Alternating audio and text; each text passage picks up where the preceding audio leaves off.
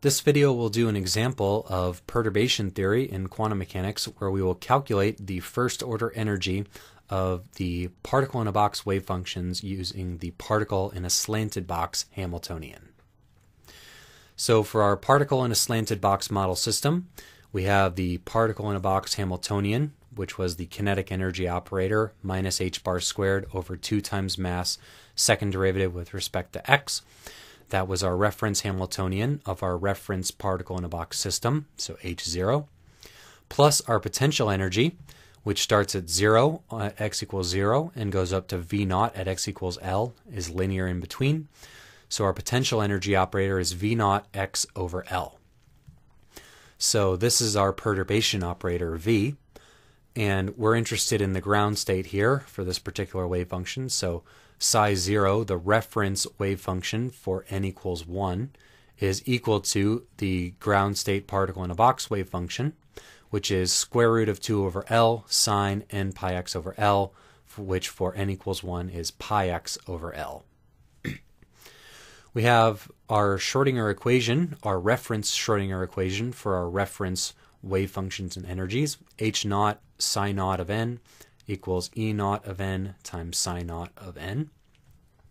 And our reference energies, our zeroth order energies of these wave functions is equal to h squared n squared over 8 ml squared. L being length of the box, h Planck's constant, m mass of the particle.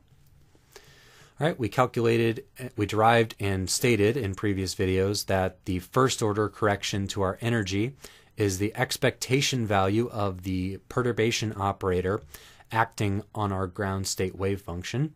So that'll be the integral over all space of psi 0 star times v acting on psi 0.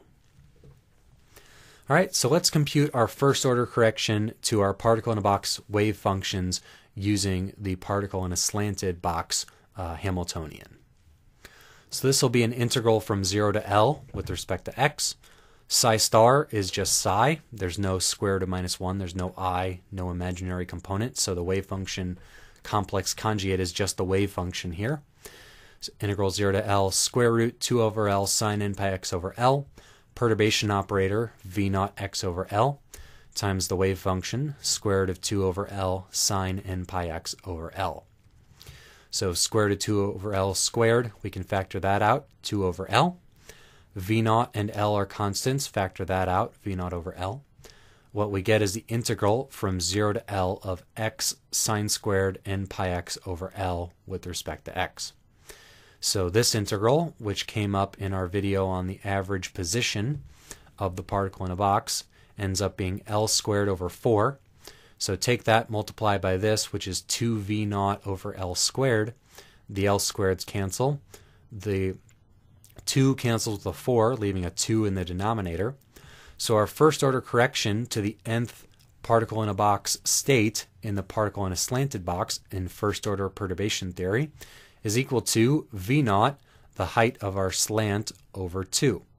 It's equal to the average value of our perturbation over the entire box. Because it's lower over here, it's higher over there, but on average, the potential energy is V naught over 2.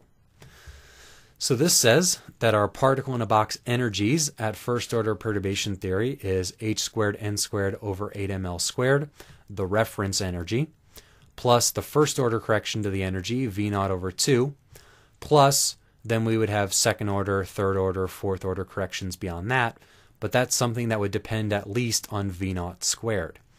So second order perturbation theory will give us something that depends on v naught squared, third order, v naught cubed, etc. So if V naught is quite small relative to these energy levels, then V naught squared is going to be even smaller, V naught cubed even smaller. So for small perturbations, this first order energy is actually quite good. As the perturbation gets bigger, you'll notice that this expression is slightly different than the one we got from doing this problem in the linear variational example. So the linear variational method will have a slightly better answer at, at bigger perturbations.